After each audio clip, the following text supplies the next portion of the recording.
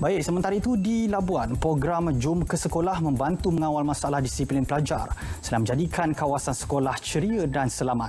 Jabatan Pendidikan Labuan bersama-sama PDRM bekerjasama agar kes salah laku di kalangan murid dapat dikawal.